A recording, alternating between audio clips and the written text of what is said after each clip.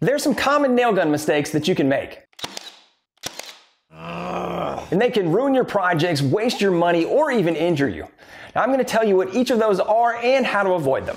The most common mistake that I see, and this is especially true for people just getting into air nailing, they're not really sure what it is, is not understanding which size nailer to use and which type nailer to use. I own three different gauges of air nailers, all the way from a 15 gauge trim nailer to a 23 gauge pin nailer. A 15 gauge nailer is also referred to as a trim nailer or a finish nailer, and also there's a 16 gauge variety, which is very, very similar. So these shoot a larger nail. This is a two and a quarter inch trim nail. This is a legit fastener. You don't need glue to hold it in place. This has a nice head on the nail. And you do see that these are angled. So it's great for installing door jambs, trim, baseboards, things like that. Next up is the 18 gauge nailer or the Brad nailer. Love that one. These are 18 gauge and I have cordless as well as pneumatic varieties of these and I'll tell you about the pros and the cons of these a little bit later. But this shoots a much smaller nail. This does still have a head to it though, but these are generally smaller in the 5 8 to about 2 inch range. So this is great for general purpose. This is the nailer that I use the most. The 18 gauge is definitely the workhorse. That's the one that I would recommend if you're a beginner and you just want to have one nailer to start off with. It's great for attaching small trim or cove mold onto projects. You can install quarter inch backs or bottoms onto drawers or onto the backs of cabinets. You can also do things like shoe molding on baseboards, all kinds of things like that. And it's great for just general home DIY as well as the woodworker. But the smallest of these is the 23 gauge or the pin nailer and it gets its names because it actually has pins versus nails. So this is a headless pin, 23 gauge. You can see how tiny it is. It just has a bevel on one side and there is no head on the back end. So it is a pin, not a nail with a head. And what that means is that the holding power on these is very, very small. So these are for very delicate items. And the nice thing about this though is it leaves a very tiny hole. So if you want to have this on the face or the surface of a finished project, this hole that it leaves is going to be much smaller. And speaking of which, let me show you real quick the difference between these three in both noise when I use them as well as the size hole that they leave.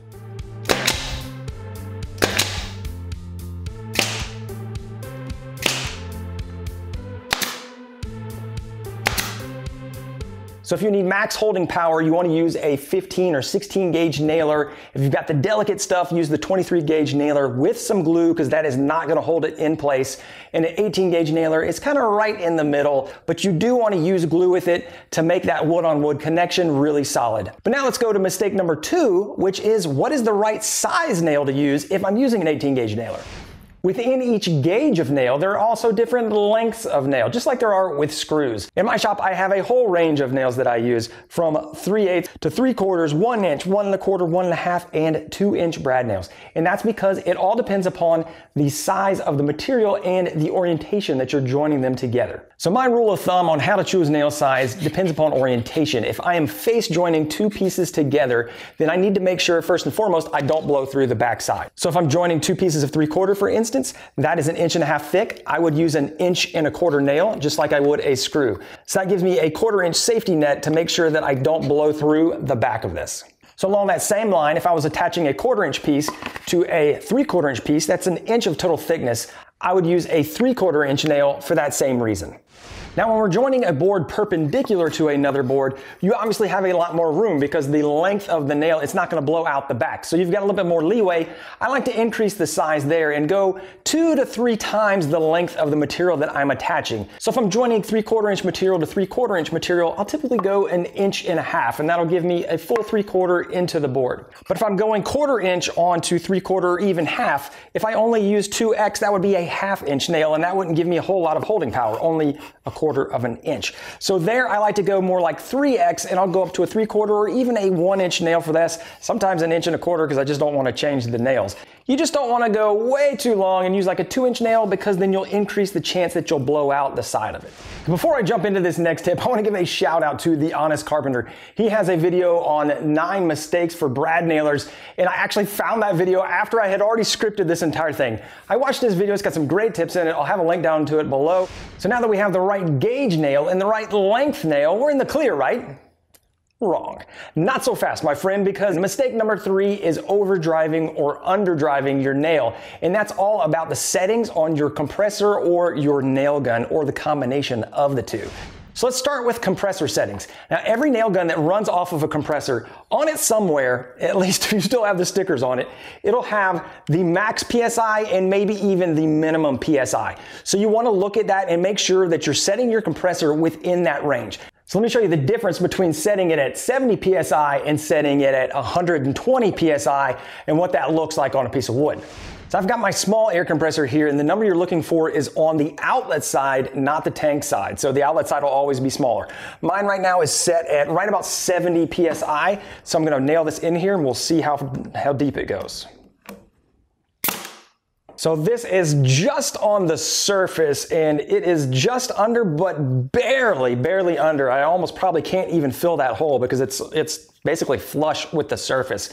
I'm actually gonna crank this down to 50 just to show you what it's gonna look like if it's under firing. So at 50 PSI, it definitely underdrove and that is proud of the surface. Now I'm gonna crank it up to 120 and let's see where that goes. So that drove significantly deeper. I'll give you a close up here, but the one that is proud, I'm gonna have to drive through, and the one that is deep, that may be too much. So if I had something like quarter inch material, I'm gonna use that at the 120 PSI setting, and we'll see what happens. So this drove pretty deep, and I would say it probably drove almost halfway through, and I bet I can just pull this straight up. So if you drive it too deep in quarter inch material, you basically lose all your holding power. The other way to control how deep the nails are going is through the little adjustment on the nailer. Now, most of them have this, not all of them do, but this one has uh, a little adjuster here that you can turn the knob and that basically moves the driver up and down to help it drive further or lower. And if you have a cordless nailer, that's the only adjustment you have because there is no compressor. It is all on board and there's just a little wheel here that you can adjust that moves the driver pin up and down to push it down more or less. If you don't have one, I would highly recommend picking up one of these uh, what the heck is this thing called? Spring loaded. If you've got a brad nailer, you're gonna wanna have one of these, which is a nail set. You can get a regular nail set, which you use with a hammer, but this is a spring loaded one, which is pretty cool. So it's got a small end and a large end, and you can just put that right on top of the nail that you need to set, and then spring it into place and then it's all done. I'll have a link to this and all the nailers and compressors I've been talking about down below in the description. And speaking of cordless nailers, let's go ahead and jump into the fourth mistake, which is buying the wrong setup. You don't want to spend money on things that you're not going to use or is not right for your setup. So there are definitely advantages to the pneumatic side as well as to the cordless side, but you need to think about what's right for you. The big thing you want to ask yourself is how do you want to use these tools and what other tools might you use? If you're planning on using a lot of different nailers like a 15 gauge, an 18 gauge, and a pin nailer, then buying one compressor and making the investment and then getting the tools for cheaper is going to maybe make more sense. If you're only looking to get an 18 gauge brad nailer and you've already invested in a battery platform, then this could make a lot of sense as well. I've used both pneumatic and a few different types of cordless. The performance of cordless nailers has come a long way and they perform just as well as the pneumatic brothers. Now check out this clip of me using bump fire mode on the Milwaukee versus the Ryobi. The Milwaukee can go as fast as I can fire it, but the Ryobi still does keep pace. And at half the price of the Milwaukee, it's a good deal. Now for pneumatics, the price per gun is going to be cheaper, but then you also have to buy a compressor. But what size compressor do you buy? So the size of compressor is to again depend upon what you want to do. This is a one gallon and that is very light. You can take it around and do punch list type stuff, work in different environments that uh, you can't haul a normal large compressor up. But if you want to do any type of spraying or any type of air tools, you're going to need a much larger compressor, one that would have 60 to 80 gallon capacity because those tools like a die grinder or something like that takes a lot of air. So make sure you look at the CFM requirements, which is cubic feet per minute of air for the types of tools that you're going to buy and make sure the compressor you're buying can supply that. The last thing to think about on pneumatics is if you're going to get oil-free or oiled nailers. I've had this finish nailer for well over a decade. It is not oilless, so I have to add oil to it every time I use it to keep everything lubricated inside. This is a newer one and this is oilless. I don't have to add lubrication to it at all. So you might want to think about that as well to decide if you want to deal with the hassle of oil.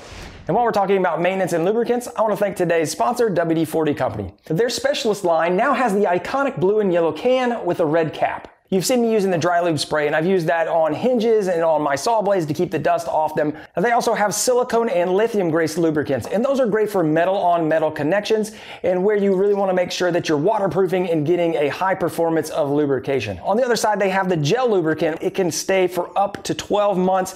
It is a great option for outdoors and vertical surfaces.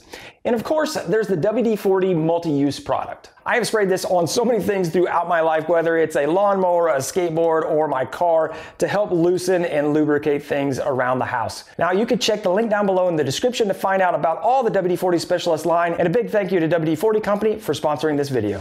The next mistake I see is people ruining their projects because they're filling their holes the wrong way and the finish turns out horrible. I'm gonna pop a couple nails in and listen, I'll show you what I mean. I'm gonna fill one with wood putty and the other with glue and sawdust to show you what happens. So after it's dry, I'm gonna now sand away the putty and the glue.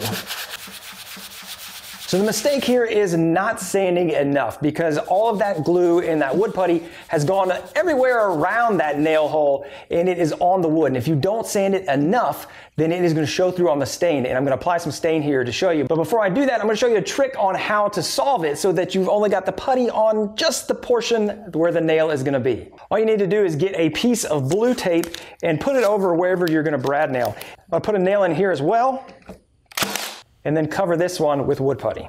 So now when this is dry, we can just take off the tape and all that excess is gonna go with it. And I'll clean that up with just a few swipes of the sander. And now I'm gonna apply stain and see how it looks on all three of these. I've got some dark ebony stain just to see if we can get the most contrast out of this. All right, check this out. Look at how dark it is over here because there's none of that extra putty and dust filling the pores and so the pigment can come in there from the stain. Versus over here, it's, it's a little lighter and you can really tell over here on the putty side where I didn't get it, there's a nice little circle, but it's also just a lot lighter all around there. And then the glue as well there. So if you are gonna fill holes on your project and apply a stain or finish, make sure that you get all of that extra dust and everything off around the nail hole, or you can use the blue tape trick and just have a little dot and it won't affect it at all. Now the last mistake is probably the most common and the most dreaded, and that's blowing a nail out of the side of a board that you're nailing into. So there's a few reasons why that happens. Let me show you and I'll show you how you can avoid it or at least help make the chances less. So I'm just gonna shoot nails into this poplar board. Uh, I'm not gonna try to attach anything to it just to show what's going on. The first thing I want you to notice though is the grain direction of this board. So it's kind of coming at an angle and that's part of the issue is that the nails want to follow the grain. Now some of the obvious reasons of why blowout can happen is the positioning of your nail gun. If you have it too far to the edge or if you don't have it vertical, if you have it tilted to the side, it's gonna blow out and that could look like this.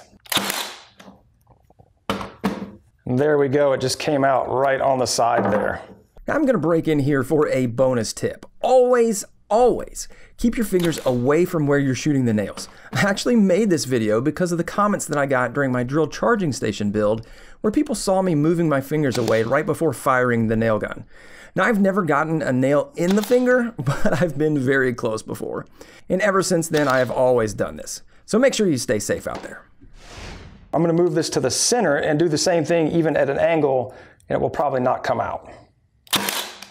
So as long as you're going in the center of the board, even if you're at an angle versus coming over even just a little bit, you can save it from poking out. But even if I keep it vertical, if I have it to the edge of the board, the grain direction might push that nail out. So I'm gonna try that. I'm gonna keep it vertical, shoot it on there. I'm gonna put this up next to the edge, but keep it nice and straight.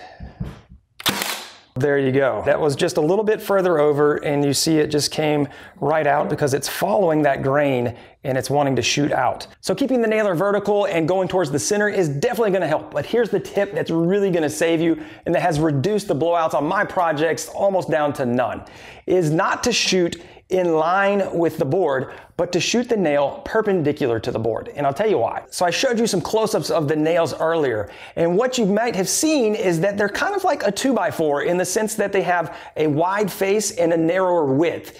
So what that means is that the nail is going to want to bend to the left and the right as you're shooting the gun and looking down the barrel because it does not want to go up or back because of the nature and the width of the nail. So if we know that the nail is going to go left and right, then we need to turn our board so that it can go to the left and the right and not blow out. So I'm gonna come right up on this edge, very close.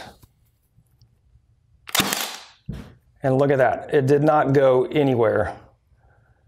It was even closer than this last one that blew out, but it did not go out the edge. So keep your nailer perpendicular to the board that you're nailing into, and it is going to drastically reduce the number of blowouts that you have. If you like this tips and tricks video, I've got a playlist queued up for you with some more right there, and YouTube thinks you're gonna like that video right there. I wanna give a big thank you to all the folks joining the FTBT Builders Club. You can get more information down below, and I'll catch you guys over there on the next video. We're gonna build something awesome.